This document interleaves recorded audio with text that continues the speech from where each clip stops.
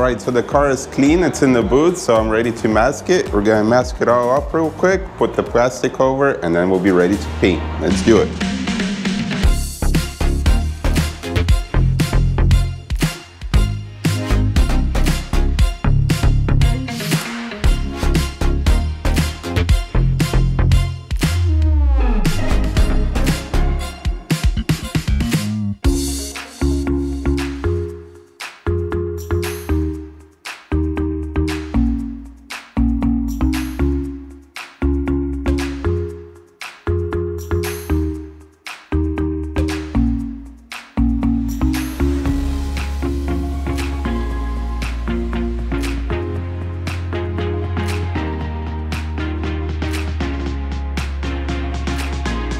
Okay, the Porsche is masked up. I didn't cut away the plastic yet because firstly I'm gonna cut away just the hood part and uh, seal the new hood as well as the new bumper.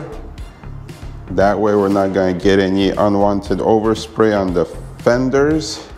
This fender is perfectly good. And then this fender is new, but we already sealed it before we put it on. And then the door we're just blending, so pretty much gotta seal the new parts. And then we can unmask the rest of the car and spray our base coat, clear coat.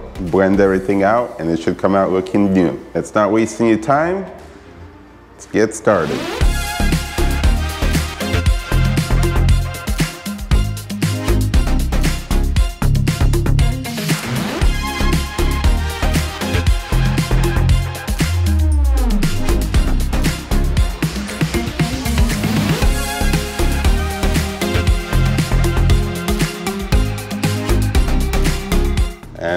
Use like a dark gray sealer so it's gonna be similar to this color. And we're still gonna seal this just because it's a new bumper and the sealer is gonna give proper adhesion to our base coat and protect from rock chips.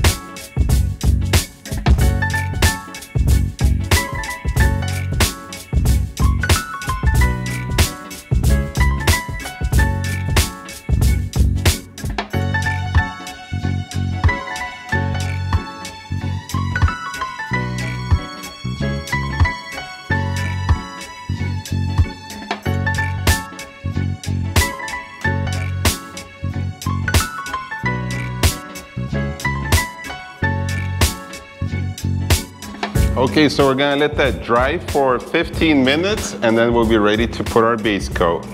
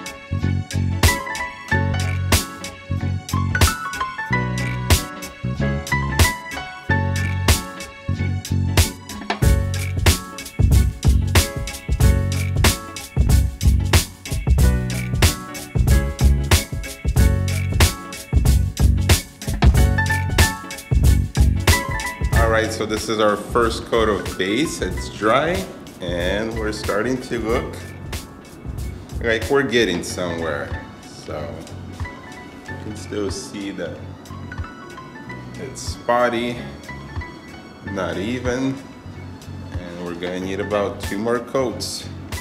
Another medium heavy coat, then a control coat to lay it all out, and then we'll be ready to clear coat.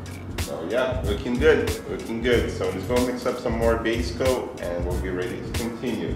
By the way, the color code is C9X. I forgot what it's called, but uh, we'll look it up right now. Porsche and it's called Tiefschwarz. I don't know what that is, but Tiefschwarz. So it's like a black metallic and we're using a darker times 8 special. Mix up another 12 ounces or so and we'll be good to go.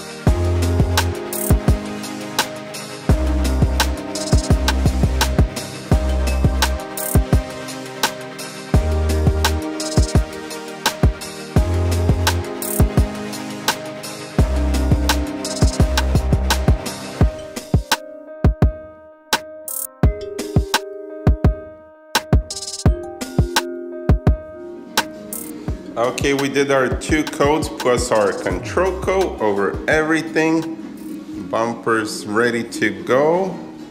We blended out on this side, stayed away from the door. As you can see, the tape is yellow, just on the top a little bit, but that's not gonna be noticeable. And same on the passenger side door. We did a nice clean blend and stayed away from the edge of the door. So then that way, we'll have a nice clean transition of our color. So, got my clear coat ready. Let's shoot our two coats and hope for the best. Let's go.